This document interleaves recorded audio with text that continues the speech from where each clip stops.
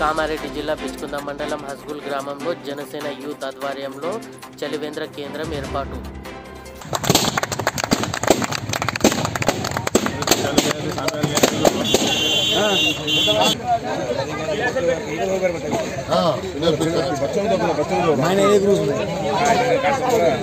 దాతలో ఉంటే